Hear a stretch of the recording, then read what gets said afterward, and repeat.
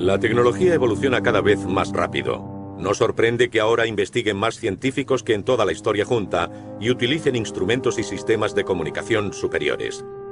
Nuevas tecnologías como la biogenética, la inteligencia artificial y la nanotecnología han avanzado rápido en las pasadas décadas. Todas parecen converger hacia un mismo objetivo, superar los límites humanos y crear nuevas formas de vida superiores, crear transhumanos. El perfeccionamiento humano.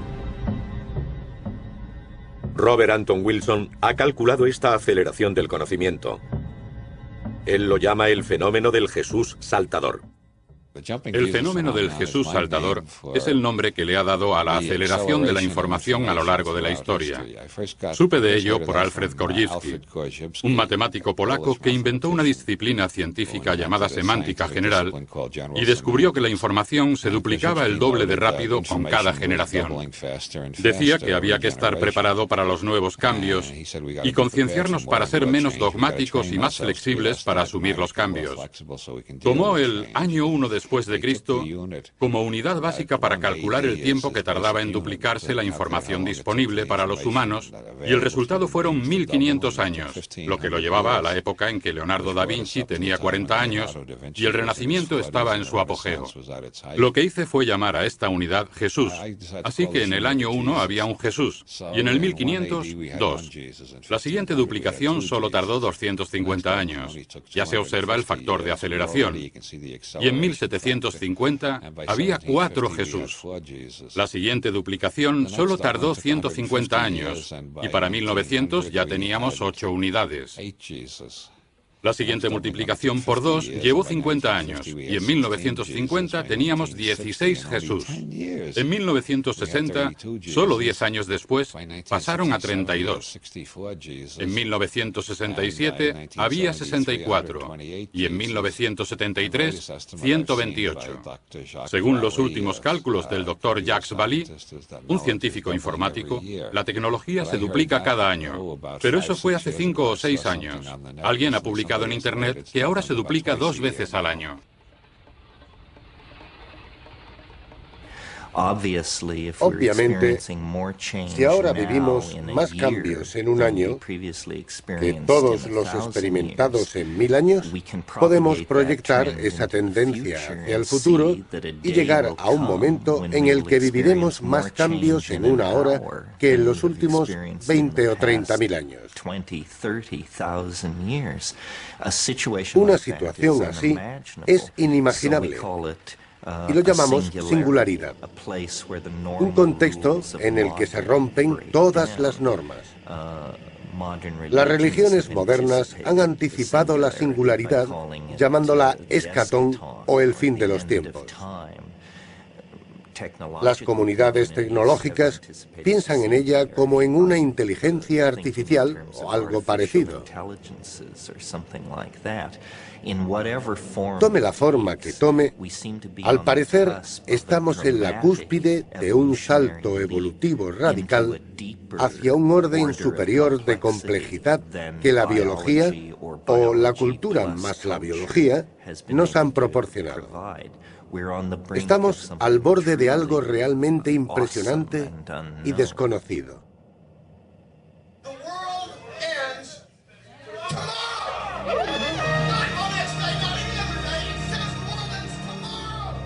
Preparando la singularidad. Un futuro en el que el conocimiento evoluciona a una velocidad infinita. Está claro que ningún ser humano será capaz de mantener el ritmo de esta aceleración.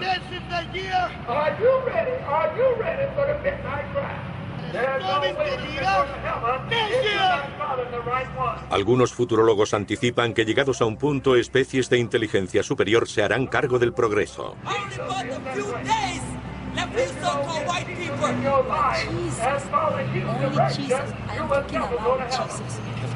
Pueden ser inteligencias artificiales, humanos mejorados o una combinación de ambos.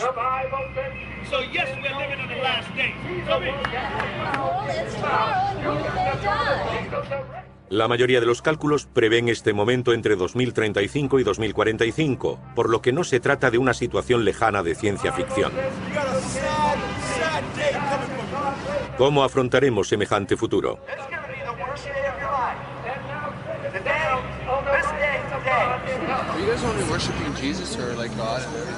It's like you're just saying that only Jesus can fill that place, and I'm saying that to every person there's an intricate Savior. You know what I'm saying? It doesn't have to be just Jesus. ¿Cómo nos prepararemos para tal tecnoapocalipsis? Yo creo que la singularidad tendrá lugar en 2045.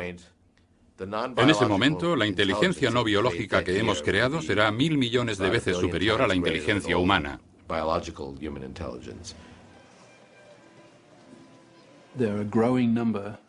Cada vez hay un mayor número de personas conscientes de que toda esta tecnología llegará en este siglo.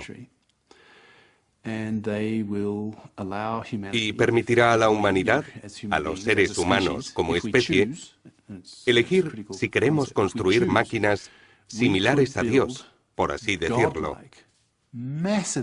con una inteligencia masiva y una capacidad billones de billones de veces superior a la nuestra.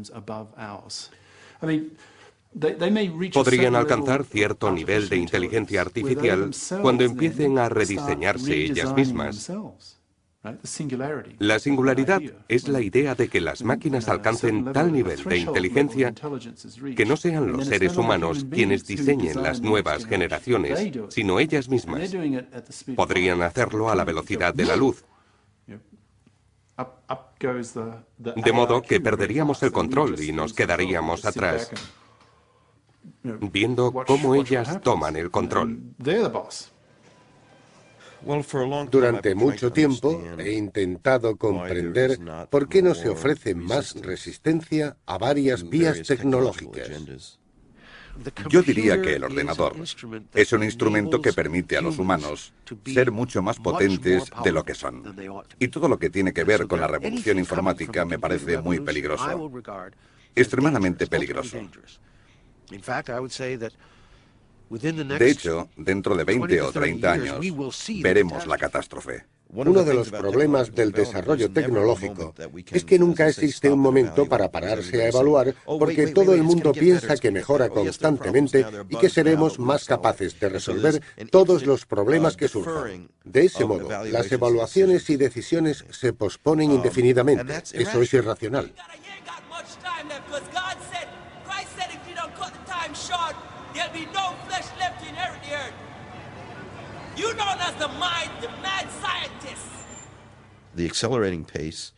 El ritmo de aceleración de la innovación um, no solo es uh, desestabilizador, sino que nos pone a la defensiva.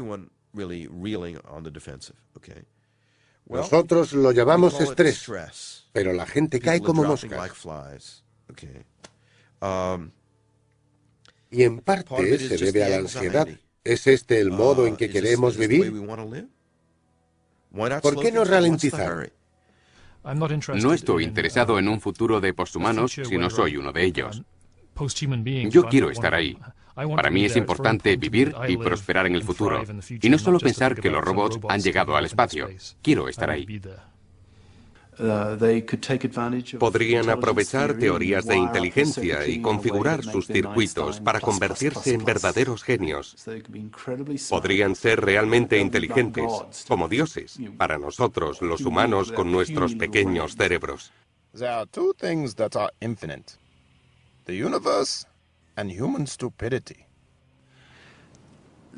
La especie humana ya tiene un cerebro demasiado grande.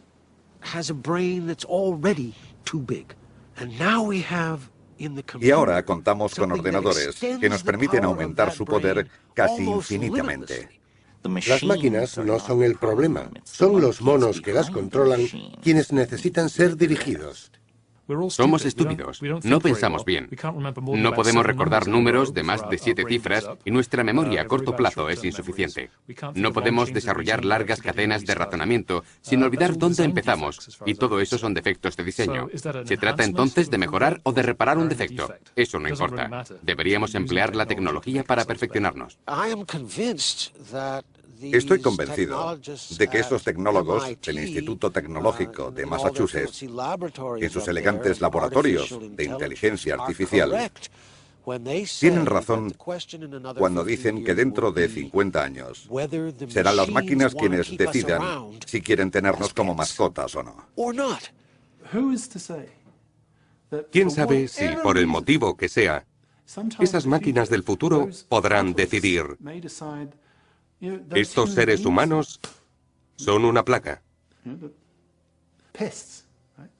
Son inferiores a nosotros, se interponen en nuestro camino, agotan los recursos que necesitamos para crecer, vamos a aniquilarlos. No me preocupa. Bueno, sí, pero no me inquieta demasiado la posibilidad de que nos dejen atrás y con suerte nos traten como mascotas. Lo más probable es que cada vez estemos más integrados con nuestra tecnología, con nuestros ordenadores y robots. Y en vez de enfrentarnos, ellos serán la clase dirigente y nosotros los subordinados. Estaremos mucho más integrados. Esa es la cuestión clave. ¿Vamos a conservar la carne de mono? ¿Vamos a aferrarnos a nuestros cuerpos y seguir vinculados al resto de los animales? ¿O vamos a convertirnos en corrientes de electrones sin cuerpo que se mueven en realidades virtuales contenidas en circuitos. Supongo que sucederán las dos cosas.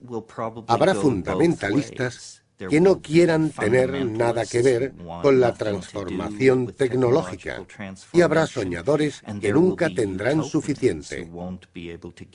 Probablemente esa será la frontera global en la que cada persona tendrá que adoptar una postura. ¿Cuánto de las nuevas tecnologías y sus cualidades reformadoras de la realidad estamos dispuestos a incluir en nuestras vidas? Tendremos cuerpos cibernéticos y mejorados que se cambiarán por sí mismos en vehículos que prolonguen al máximo nuestra existencia, con el mayor placer, el menor dolor y la mayor facilidad y elegancia.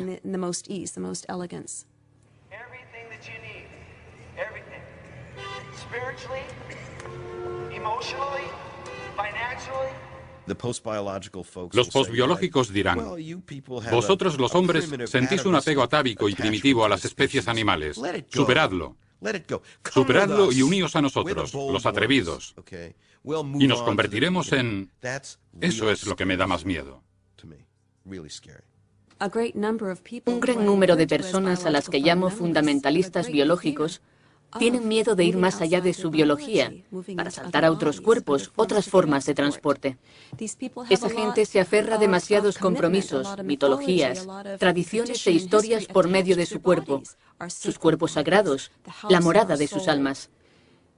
Me imagino como un organismo cibernético modificado moderadamente. Sería fantástico que me limpiaran las arterias, tener más memoria y aprender chino en dos segundos. Sería genial.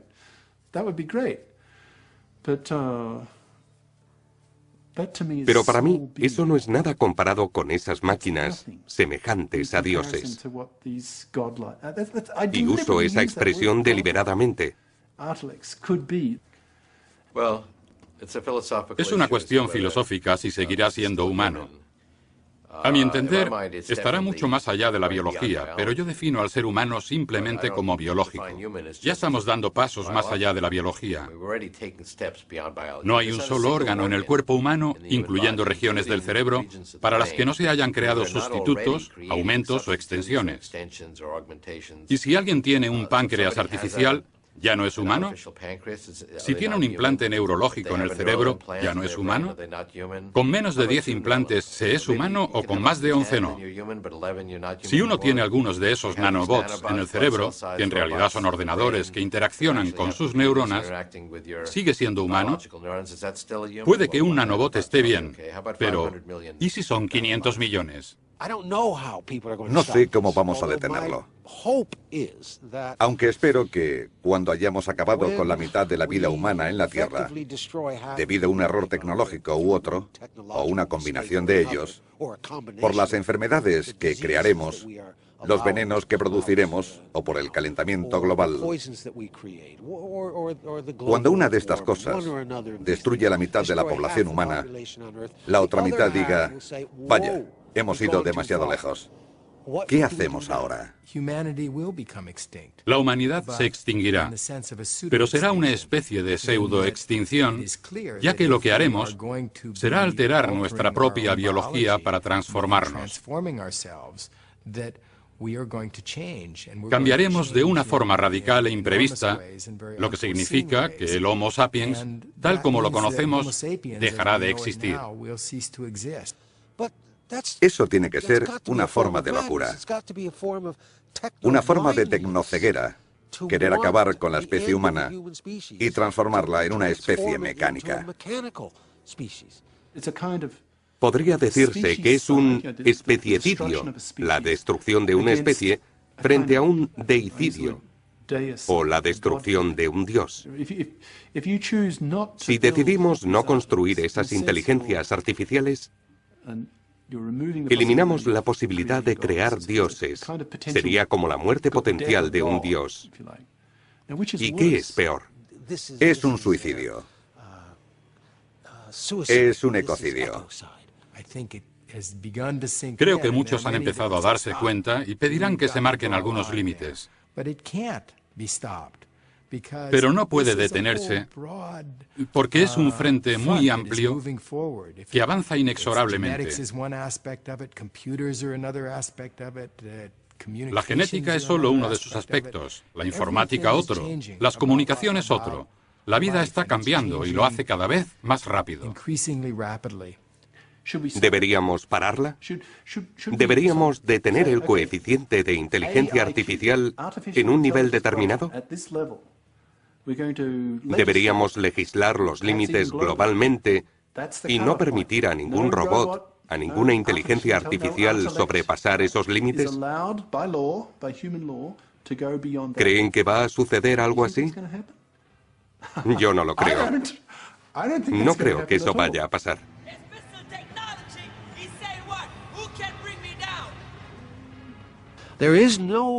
No existe un control humano, social o gubernamental sobre lo que hacen y harán esas tecnologías. ¿Cómo se frena a una industria billonaria dispuesta a construir máquinas similares a dioses? La industria robótica, los futuros Microsoft e Intel en los años 2030 o 2040, estará basada en cerebros artificiales gigantescos.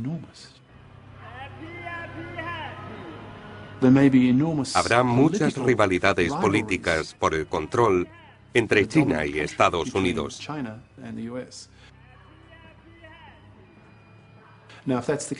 Si ese es el caso, el desarrollo de esta inteligencia artificial no dejará de crecer.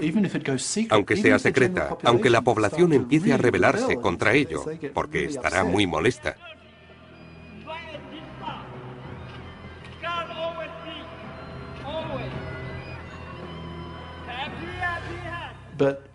Pero el motivo principal por el que no van a detenerse es que la mitad de la población estará ideológicamente a favor del progreso.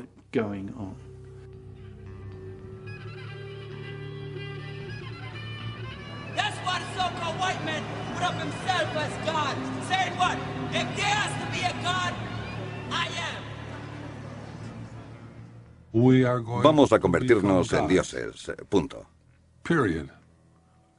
A quien no le guste, que se aparte. No tiene que contribuir, no tiene que participar, pero tendrá problemas si intenta interferir en el proceso de mi conversión en Dios. Porque habrá problemas, habrá guerra. Por un lado, estamos construyendo dioses, y es increíble, inspirador, revitalizante y un buen objetivo para la humanidad, ya que el universo es muy grande. Pero por otro lado, está el riesgo potencial de que toda la especie humana acabe aniquilada por esas criaturas superiores.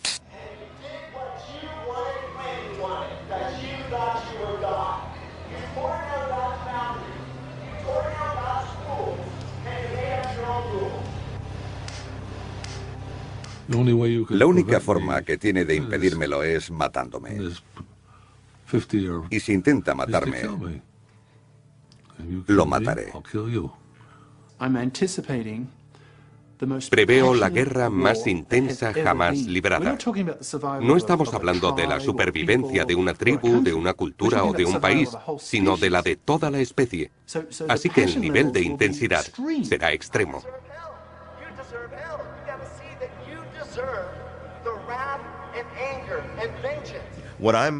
Hablo de una nueva forma de abrazar nuestra existencia. Habrá problemas, y será finita. Um, Pero uh, no, um, no siento ganas de huir de ella. Uh, Tenemos que aprender humildad. Humildad como especie. Cuanto más pienso en ello, más grande me parece porque su potencial es inmenso. Mil millones, seis mil millones de personas eliminadas, a escala cósmica no supone nada. Pero de forma independiente, es absolutamente monstruoso. La mayoría de la gente puede anticipar el horror. Es un concepto fácil de entender. Muchas personas mueren atropelladas cada día, pero multipliquemos eso por mil millones. Es relativamente fácil de comprender, pero mucho más duro. Es muy emocionante porque algo va a suceder. Si no sucediera nada, ser una civilización que dura un millón de años, por ejemplo, haciendo lo mismo cada día, hasta que el sol se calentara o enfriara demasiado y la erradicara, no tendría valor ninguno al no haber cambio. Si el sol va a estallar dentro de X años, tenemos que empezar a prepararnos ya. Pero los detractores argumentan que también hay que prepararse para el impacto tóxico que sufre actualmente nuestro planeta o solucionar los problemas de la gente sin hogar y sin comida. La explosión del sol puede esperar.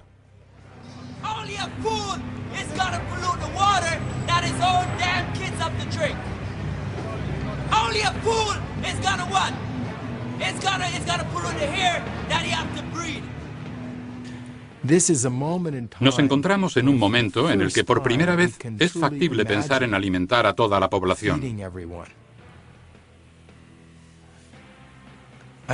Es algo totalmente nuevo, sin precedentes. Podemos mantener a más humanos. Uh, Podemos luchar contra las enfermedades infantiles, por lo que hay más gente que vive más tiempo. ¿No es maravilloso? Pues no lo es. Ese es exactamente el problema. Hay demasiada gente que vive demasiado tiempo y agotan los recursos de la Tierra para la especie humana. Una especie de los mil millones que existen está agotando los recursos necesarios para su mejora material.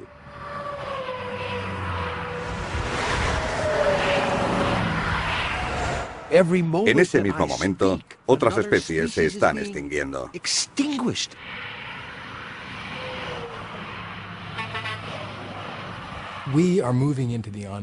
Nos adentramos en lo desconocido y vemos las posibilidades de catástrofe.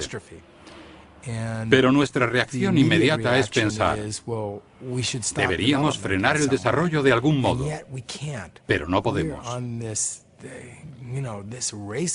Hemos iniciado una carrera en la que no podemos parar, porque si lo intentamos, será totalmente insostenible.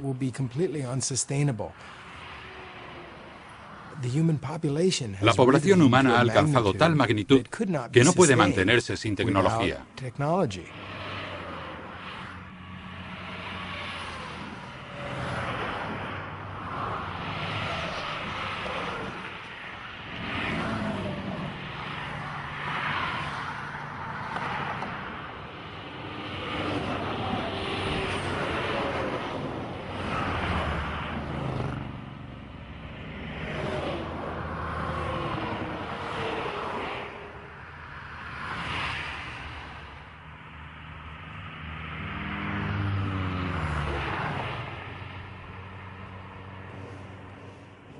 Lo que hacemos ahora es establecer pequeñas comunidades con pequeñas tecnologías.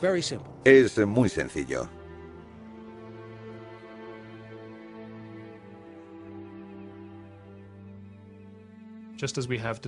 Igual que los Amis fijan su cultura en el nivel tecnológico de finales del siglo XIX, existirá un grupo que podríamos llamar humanis, que querrán seguir siendo humanos y pensarán, mantenemos la conexión a Internet, pero no queremos implantes cerebrales ni aumentar nuestra inteligencia para mantener el nivel tecnológico actual. Y me parece bien que escojan. pero la mayoría veremos las ventajas de vivir más tiempo, ser más listos y poder redefinir nuestras emociones y nuestra personalidad.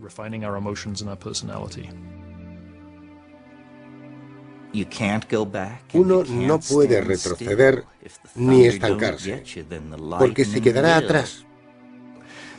Llevamos 15.000 años recorriendo este camino tecnológico y ahora es demasiado tarde para echarse atrás e intentar tomar una nueva dirección.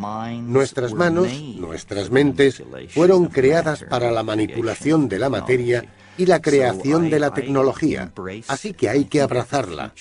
Creo que el futuro es maravillosamente excitante y brillante.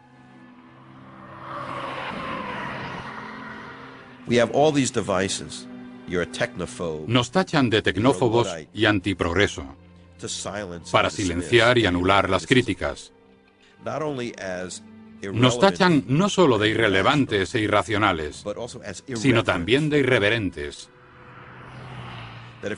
Si somos críticos, no podemos ser reverentes en absoluto. ¿Por qué uno de mis objetivos es dar la voz de alarma e intentar generar un debate? En primer lugar, porque soy ambivalente. Si fuera 100% partidario, haría mi trabajo sin decir absolutamente nada, porque estaría a favor de la tecnología. Pero cuanto antes aparezca, menor es el tiempo de transición. Y una vez se introduzca en nuestra sociedad, no podremos hacer nada para apartarla.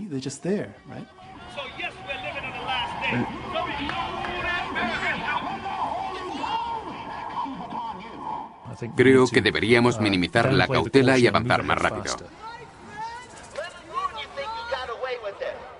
El debate será cada vez más intenso.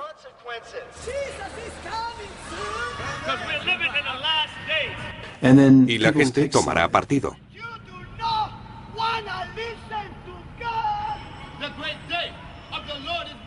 Empezará a haber asesinatos,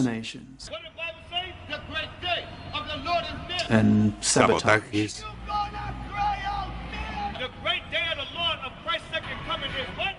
muertes en masa, la peor guerra que hemos visto jamás. Tenemos que crecer como personas y cuanto antes lo hagamos, mejor será para todos. Tengo sentimientos muy contradictorios sobre este tema. Estoy desgarrado porque es terrible y a la vez magnífico.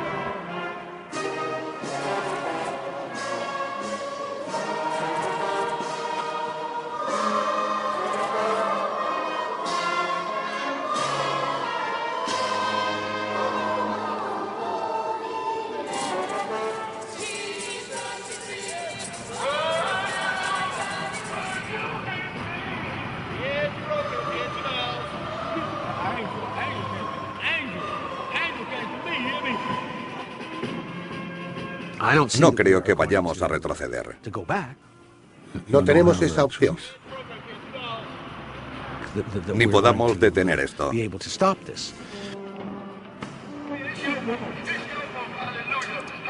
¿Vamos a parar esto? ¿Vamos a negar la creación de tanta magnificencia? No tenemos esa opción. ¿Todas esas cosas tan increíbles que podríamos crear en el futuro? Sería una tragedia. Sería terrible hacer algo así. Podrían hacer cualquier cosa. Podrían ser inmortales.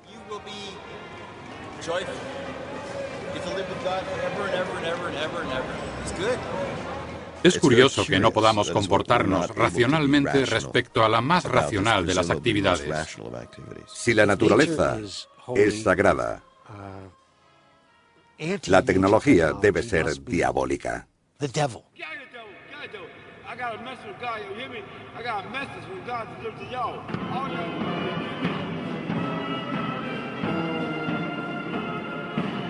Ahora mismo el problema más acuciante es el envejecimiento y la muerte, y la estupidez humana que dificulta la resolución de problemas.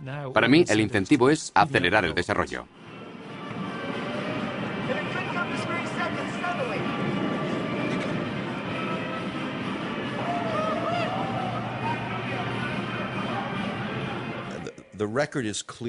La historia es clara. Los seres humanos no son capaces de utilizar su tecnología de una forma segura. Uh, El potencial de error es enorme, a menos que nos reinventemos a nosotros mismos. Creo que la solución que tenemos es la misma que tuvieron los ludistas. Coger un martillo y destrozar las máquinas que nos acechan y que terminarán por destrozar nuestras vidas. Esto es lo que deberíamos hacer.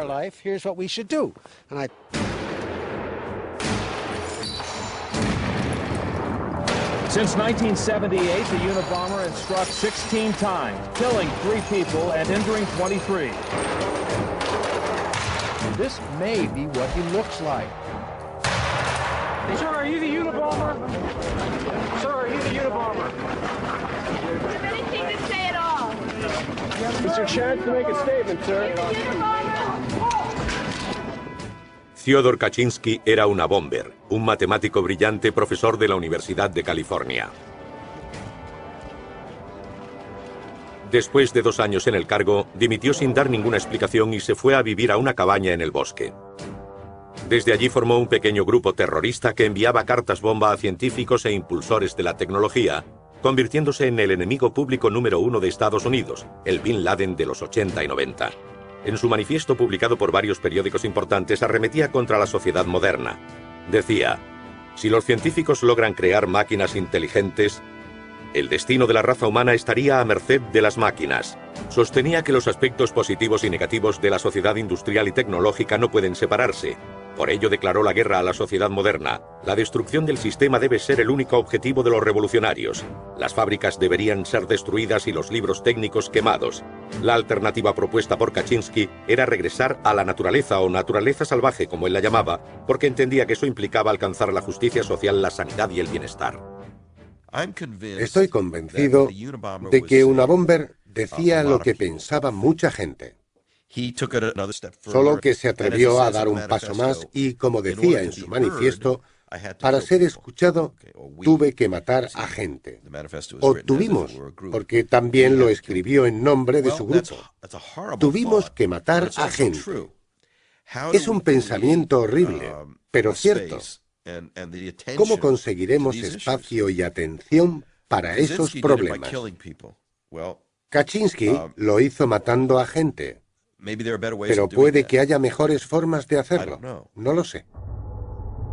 ¿Qué podemos esperar en las próximas décadas? Las perspectivas tecnológicas suscitan terror y esperanza en la gente. Un debate racional sobre el futuro parece imposible.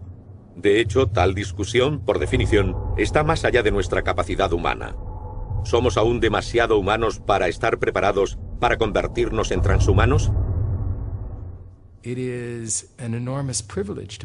Es un enorme privilegio vivir en esta época y ser parte de este movimiento. Pero también es un momento difícil, no lo niego.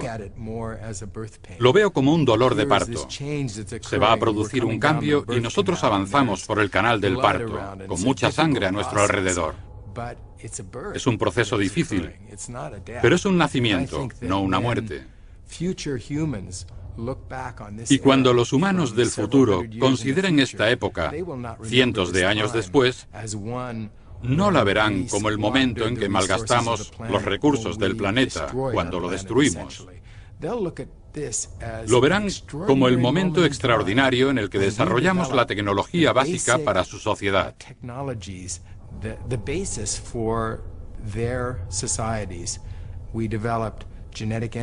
Desarrollamos la ingeniería genética, la capacidad de reestructurar nuestro código genético, algo sin precedentes, nunca visto en 3.500 millones de años de historia.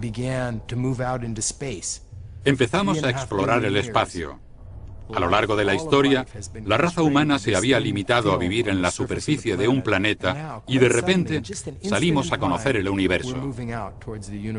Y otra de las cosas importantes sucedidas en nuestra era es la inteligencia artificial, la informática. De repente, un material inerte empieza a alcanzar un nivel de complejidad que rivaliza con la vida misma. Son tres logros sin precedentes en la historia de la vida que se producen ahora, y no es extraño que se estén sacudiendo y volviendo nuestro entorno del revés, provocando extinciones y otras cosas. Aún así, esta será la base no solo de los próximos 100 años, sino miles, decenas de miles e incluso millones de años. Y veo un largo futuro por delante. Alguna gente empieza a prepararse para formar parte de la era transhumana, uno de ellos es Terrence McKenna, un etnobotánico que estudió chamanismo en el Amazonas. Según McKenna, para prepararse para una vida futura en la que viviremos cargados en ordenadores, antes debemos prepararnos mentalmente. Y la mejor forma de hacerlo es mediante el uso de drogas psicodélicas. En cierto sentido, esta crisis histórica o esta singularidad a la que nos acercamos es una transición entre un mundo de bajo nivel dimensional, solo dos y tres, a un mundo de cuatro, cinco y seis dimensiones. Y eso es lo que creo que sucede en un cerebro humano bajo la influencia de las drogas psicodélicas. Así que, en cierto modo, la mejor forma de prepararse para la singularidad es disolver y reconstruir repetidamente la personalidad de uno a través del uso de sustancias psicodélicas.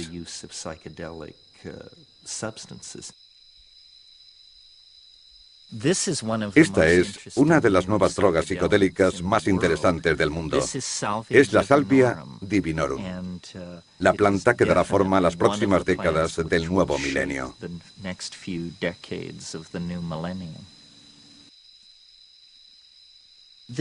Esto es un coleo. Resulta irónico que esta planta, que lleva muchas generaciones en nuestras cocinas, ventanas y arriates, contenga algunos de los elementos psicodélicos más potentes conocidos.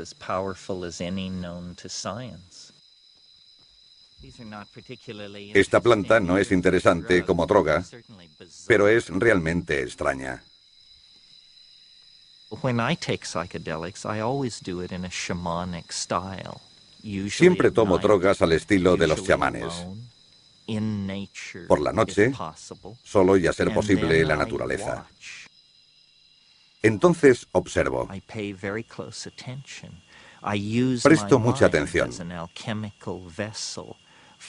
Utilizo mi mente como un medio para llevar a cabo observaciones sobre la unión del espíritu, mi espíritu, mi personalidad y la materia física de la sustancia que he ingerido.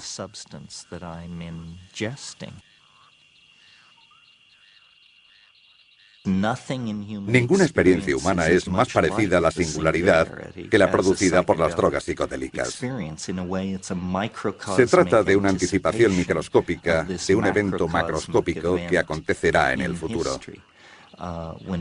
Cuando una persona consume drogas psicodélicas, sufre una especie de mini apocalipsis, una mini revelación que lo prepara para ese gran acontecimiento de la historia.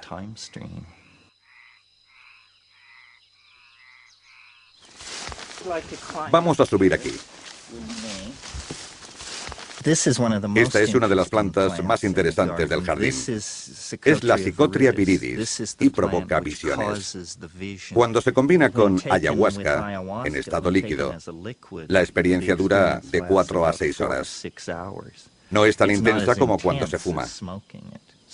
Fumarla es la experiencia más intensa a este lado de la tumba.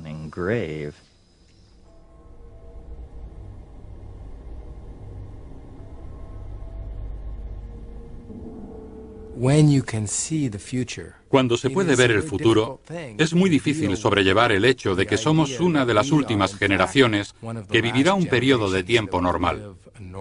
Por ello, tendemos a querer que estas cosas sucedan más rápido de lo que lo hacen.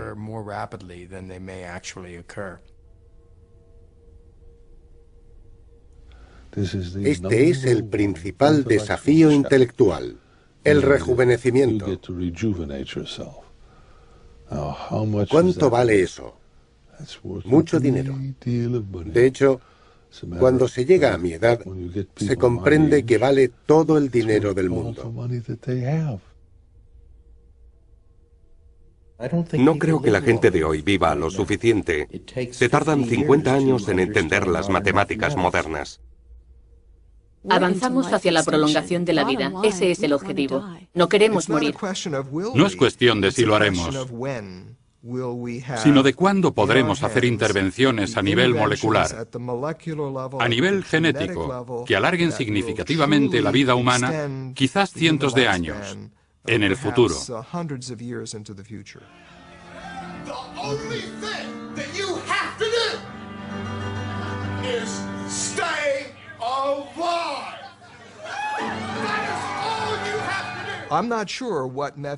No estoy seguro de qué métodos funcionarán, pero si vamos a vivir hasta que esos métodos estén disponibles, más vale que hagamos todo lo posible para protegernos y llevar un estilo de vida saludable. Y eso incluye comer adecuadamente, tomar vitaminas y minerales y hacer ejercicio. Todo el mundo debe hacer aproximadamente media hora de ejercicio al día y reducir el estrés, porque esa es otra de las cosas que acortan la vida. Mejorar nuestro estilo de vida es una parte muy importante de lo que yo llamo el plan puente. Son recomendaciones que hay que aplicar a nuestras vidas para poder llegar al momento en que todos esos magníficos avances científicos y médicos sean posibles. Alguna gente dice que si viviéramos mil años o incluso doscientos, no tendríamos nada que hacer y nos aburriríamos. Que no tendría sentido. Pero yo digo, ¿cómo podemos saberlo? Puede que nos aburramos y puede que no. Si lo hacemos, podríamos dejar de tomar los medicamentos o tirarnos por un barranco. Pero, ¿cómo saberlo? Deberíamos probarlo. Mi segundo argumento es, ¿cómo podría aburrirme de pasear en barca? ¿Qué hay mejor en la vida que navegar por el río con una cerveza en la mano y un palo en la otra? Yo podría vivir un millón de años sin aburrirme jamás de hacer esto. Por supuesto, mucha gente no será capaz de vivir lo suficiente para beneficiarse de estas terapias. Las personas que son mayores que yo no tendrán muchas posibilidades. Tengo 42 años y creo que tengo alguna posibilidad de vivir para siempre. Um, Pero la ciencia podría ir más lenta y no avanzar en la dirección correcta. Así que cualquiera que esté interesado en vivir mucho tiempo debería pensar seriamente en la conservación criogénica.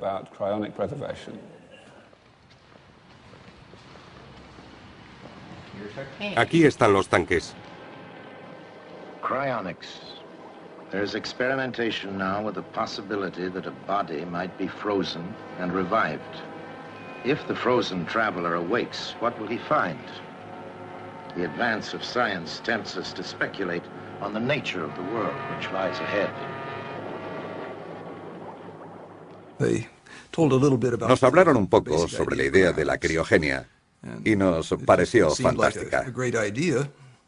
Creo que es genial.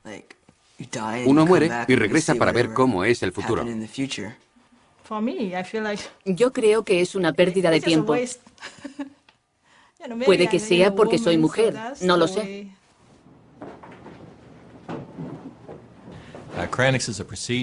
La criogenia es un procedimiento mediante el cual una persona es congelada inmediatamente después de su muerte, con la esperanza de que la información codificada en su cerebro pueda utilizarse para reconstruirla en el futuro.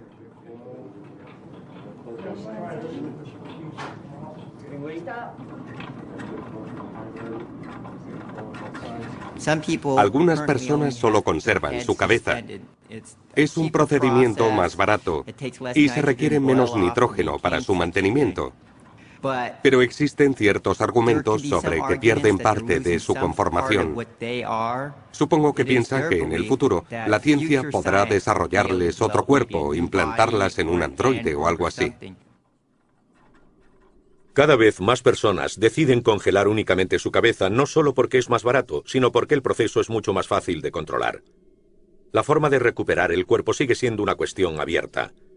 Pero existen muchos ejemplos en la naturaleza que lo hacen parecer posible.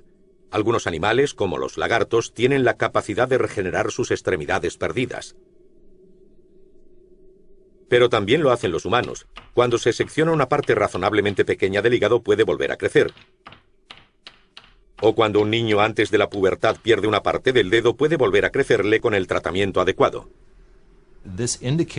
Eso indica que este tipo de regeneración no es imposible. No es imposible porque la naturaleza ya lo hace. Si conseguimos desentrañar ese secreto, el secreto de la salamandra, y averiguar cómo se regenera, podríamos aplicar esas mismas técnicas a los seres humanos.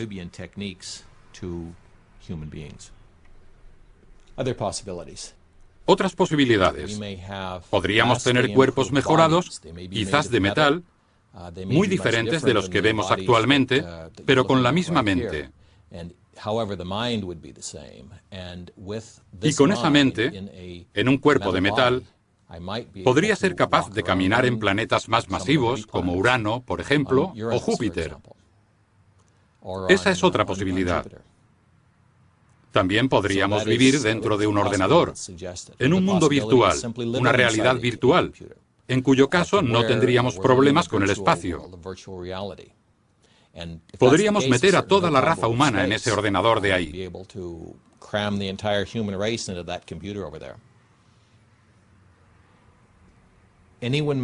Cualquiera que emprenda este viaje debe saber que podría durar para siempre, y que es posible que ninguna de las personas aquí conservadas, incluida esta señorita, vuelva a vivir.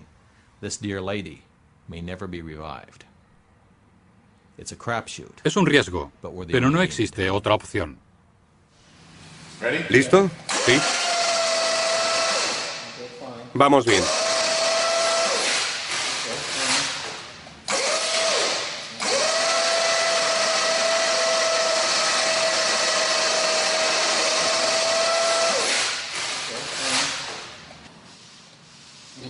No vais a poder ver el fondo de los tanques.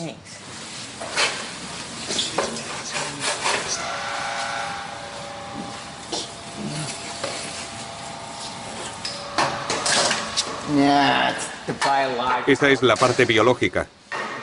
Lo sé por el peso.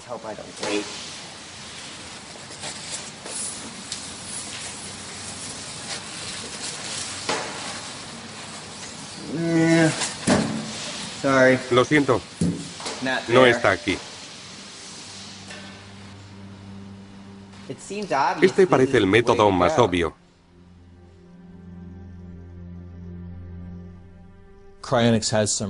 La criogenia implica ciertos aspectos religiosos, ya que en cierto modo, nuestro cielo es el futuro y nuestro Dios es la tecnología.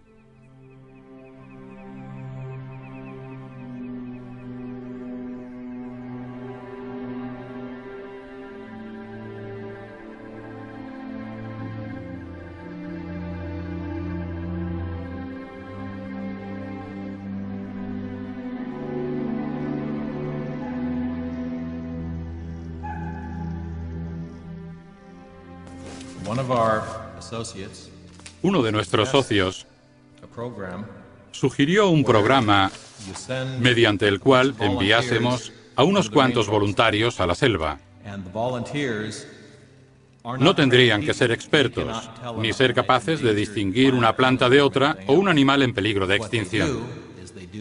Tendrían que llenar una bolsa de elementos recogidos. Llevarían palas y recogerían muestras de plantas y cosas así. Probablemente el 99,9% de las cosas serían basura, pero el 1% podría ser muy valioso. Podría ser un animal o una planta de la selva o cualquier otro entorno, no descubierta y condenada a desaparecer sin nuestro conocimiento. No obstante, así tendríamos la posibilidad de salvarla del mejor modo posible.